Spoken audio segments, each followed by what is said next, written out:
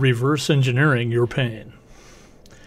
After being on the spiritual discovery path for most of my 63 years, I've come to see that there are just about as many approaches to how to go about this journey as there are people.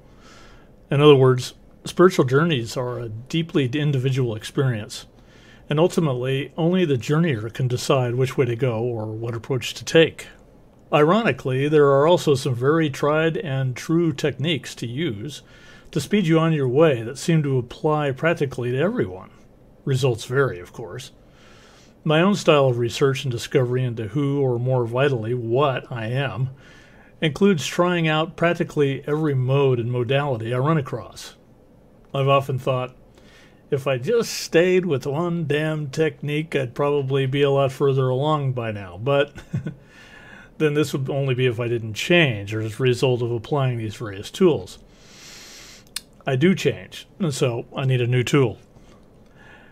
Although that seems a, like a little bit of an excuse, it does seem to work for me as I am now.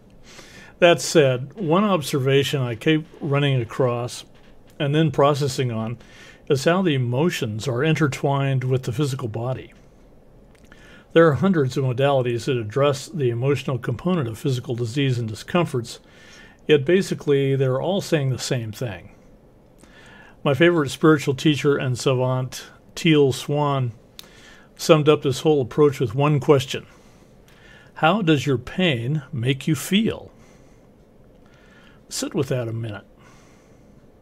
How does your pain make you feel? What emotions are triggered by your pain? The reason this is such a significant approach is because the structure of pain and disease in the body is underpinned, anchored, and given form by the emotions or feelings from which they arose. By re experiencing these emotions, we're able to effectively reverse engineer and deconstruct our pain.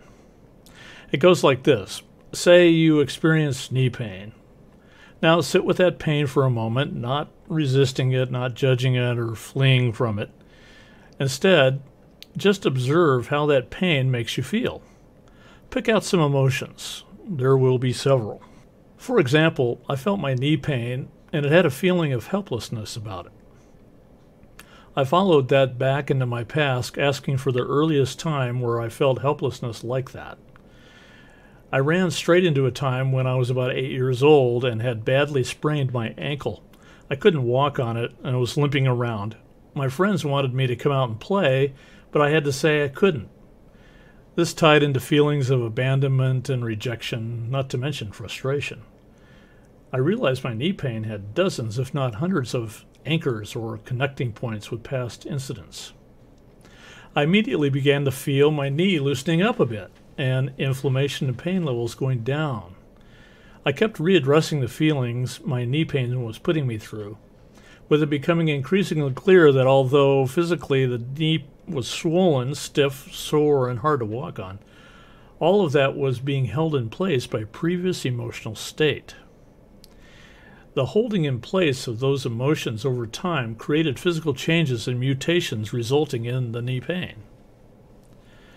Another one of my favorite teachers, Christopher Hills, always emphasized that emotion is E, energy, in motion. When the motion stops or is obstructed in some way, either by denial or lack of interest or misunderstanding, it eventually creates physical disease and discomfort.